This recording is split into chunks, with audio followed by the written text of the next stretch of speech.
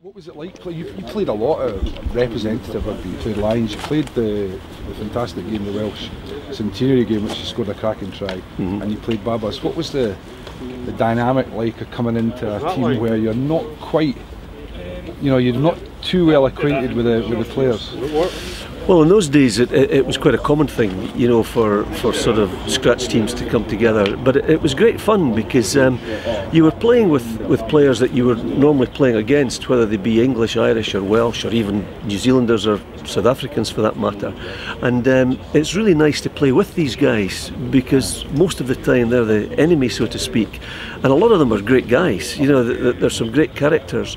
You mentioned the, the, the players that you played with that you normally, you, not, that was the opposition. So, who are some of the, the standouts? You remember the many games you played for the Barbarians? Who was in the team?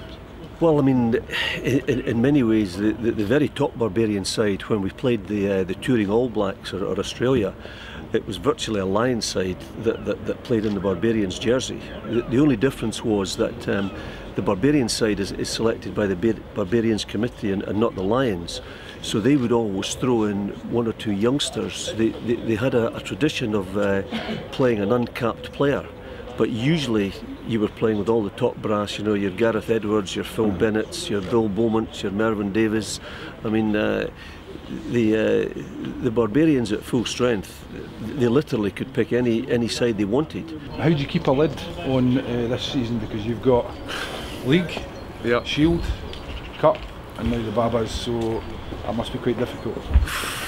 Difficult, yes, but you know, in a way, it's it's great. You know, the kind of momentum just keeps building, and I think uh, all the boys trying to ride the wave, uh, not get kind of too ahead of ourselves, taking kind of one game at a time. But I think in a way, you know, we put in the kind of hard work and we're finally kind of seeing some of the results. So you know, we're not there yet. There's still a lot to lot to do, but yeah, it's great. And the chance to face the, the Baa-Baas, how do you feel about that?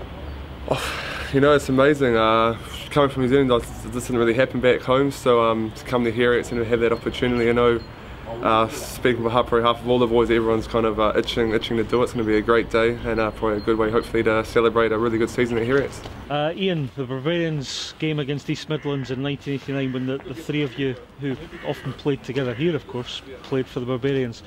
What do you remember about the game? How, how, did, how did the invitation come about?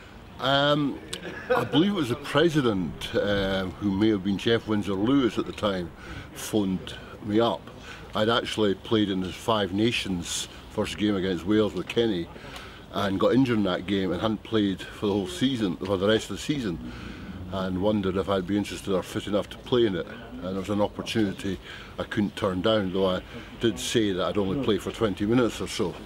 Right. And Kenny, what, what do you remember about the game itself? Well, Ian was supposed to play for 20 minutes, but uh, uh, it was still sort of during the Six Nations, and I'd just uh, the Five Nations in these days, as it were, and I'd uh, uh, got a wee bang on my head, which required stitches, so I had to move off the pitch and not return because I had an international the next week, and Ian had to play the full 80 minutes. David, it was 26 years ago. Um, your, your memories of it are still obviously quite fresh. D- do the Barbarians still hold as much kind of cachet now as they did then? I, th- I think they do. Um, I mean, it was uh, a very memorable occasion for myself um, because I was uncapped at the time, and to get the opportunity to play in such a elite company was absolutely fantastic. But uh, my abiding memory of the, the fixture was my father was flown down uh, by the club to come and watch his three little boys play.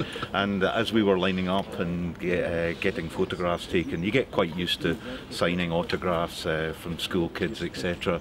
But there were people queuing up to get my father's autograph as he had sired these three three ugly brutes.